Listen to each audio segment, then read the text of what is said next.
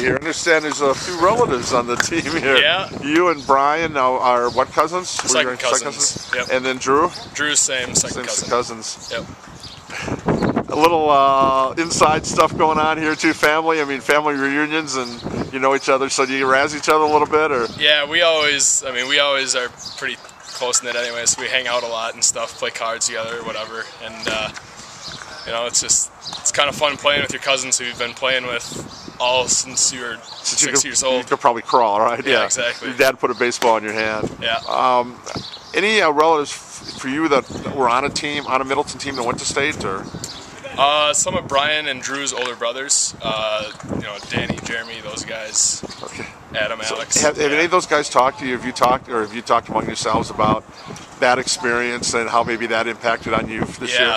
uh, Jeremy, I know was on the team that went to state a couple years ago, and uh, I know that was a pretty cool experience for him. And just hearing those guys talk about it just gets you pumped up to, to go back for yourselves. You have been up there to watch the games, I have not been to Appleton, but I know Drew and Brian have. So, the whole experience. Yeah. What do you what, what are you looking forward to the most?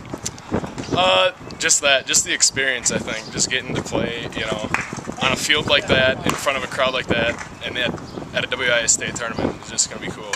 No better way to gra- you graduate uh, Sunday, and then right away you're at state two days later. That's right. It's a nice way to end the school year. That's right.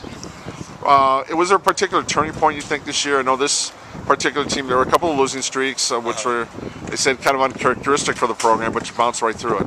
Yeah. Uh, you know, we just kept working hard. I guess uh, we stuck stuck together as a team.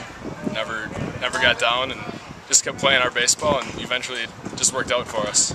Was there a particular game where you thought hey, this could be, this was kind of the turning point or Um, got you there? Actually, maybe the Onalaska game. You know, we got got out to a three nothing lead, and then all of a sudden in the fifth they come back and tie it up. And you know, close games like that, we've lost a lot of those down the stretch during those losing streaks. So we were kind of getting nervous. And then AJ comes in and has that that huge double to the center that puts us up, and then Brian comes in and shuts the door. And I think that that showed us that we can come up clutch and we can win those close games.